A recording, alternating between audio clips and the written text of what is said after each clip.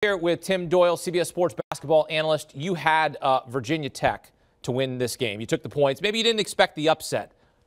Are you kidding me? Virginia Tech, four games in four days as they win uh, and beat Duke. They took down North Carolina. They won at the buzzer against Clemson. I mean, this was like one of these teams of destiny in this ACC tournament. You know, it was really interesting to watch the matchups along this ACC tournament journey because a team like Clemson and Brad Brownell really cut from a similar cloth as Mike Young disciplined team, half court defense, do all the little things. And that's a game that goes right down to the wire. And then North Carolina and Duke, it was simple. Virginia Tech just shut them down. North Carolina is a team that came in averaging 77 points a game, third in the ACC. What'd they score? 59. Duke comes in number one in the ACC, averaging 80 points a game. Today, 67 really got made it three late. It was really 64. So this really came down to defense and effort, and that is what I've realized. I have been able to pinpoint the problem with Duke. It has nothing to do with talent. I didn't see one guy slap a floor in Brooklyn. They don't have an edge. There's no like chip on their shoulder. That's what separates good teams and great teams. And even teams that have won in the past for Duke, they had a little bit of friction. Whether it was Grayson Allen, who you really didn't like, or the Jon Scheyer teams, like there was an edge to those teams. Christian Laettner stepping on guys' stomachs. Like I don't see that edge from Duke. I see the talent. I'm like, wow, you guys are really Paolo's unbelievable. He's going to be a great NBA player, but like, I just don't see that toughness. Virginia Tech, as Matt Norlander said, if you were choosing teams, Duke or Virginia Tech, the first six picks would all be on Duke. But toughness wise, the Hokies, ho ho Hokie high, is that how they say it, Akeem? They're partying in Blacksburg. Yeah, that's a, that's a, that's a fun town to, uh, to be in and, and have a good time. And they're all partying now because they had no business – going to the NCAA tournament. They were not in the field if they don't win this tournament. And now Hunter Cattoor lifts them into the big dance. And it's back to back tournament appearances for Mike Young, who we talked about at length here with Matt, how good of a coach he is. You've talked with him. What makes the difference, Mike Young, in terms of what he's able to get from his players? Culture. And I'm not saying that his culture is better than a Duke's culture. But what an easy sales pitch this was pregame speech. You know, I never wanted to be a coach because recruiting is awful. Okay but the speeches. Oh, the speeches are what I live for because that would be such an easy speech. This is us against the world. This is Duke. This is Coach K. And not once, but twice now on the Coach K farewell tour at home against North Carolina. Not so great. Lose that game.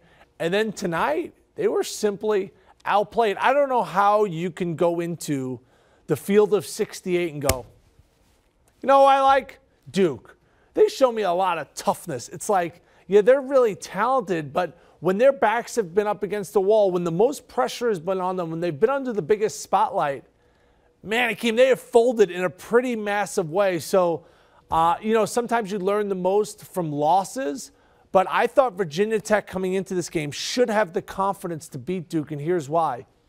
They were beating them down at Cameron Indoor at halftime. They were up eight in the second half. And we all know Duke doesn't lose at home because, you know, sometimes you're playing eight on five. But you leave the arena that night and you're like, man, we can compete with that team. They had that belief in Brooklyn. That was the difference. So I, I want to, I want you to give me a pep speech. I want you to give me a, a speech because I, I want you to give me the speech in that you're talking to the Duke players. Because here's why: the weight of the world is on them. A, any game they lose, it's you lost a, a game for Coach K.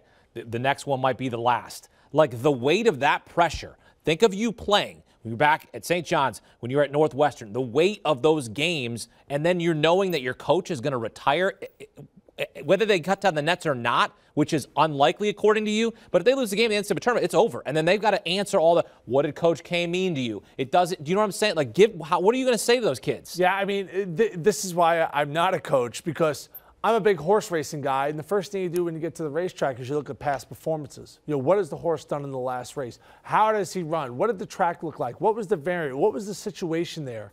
Well, if we start looking up at biggest games Duke has played this year, they have not risen to that occasion. So uh, I would hate to see Duke get matched up with a veteran team like Lehigh and CJ McCollum.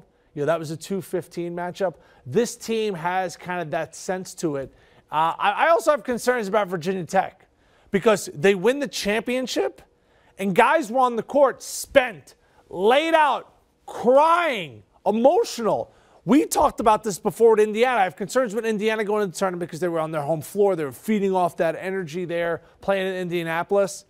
I think Virginia Tech might have left their best basketball in Brooklyn. And I think that going into the tournament, there's going to be crazy expectations because they won the ACC conference tournament. Take conference championships with a grain of salt because some teams are motivated. North Carolina wasn't motivated. Baylor wasn't motivated. You can go through to Providence. They laid a massive eggs. It's so hard to figure out who's motivated. I will be really curious to see who both of these teams get matched up with because I could see both of these teams being ousted very early. Really? Correct. Like a one and done.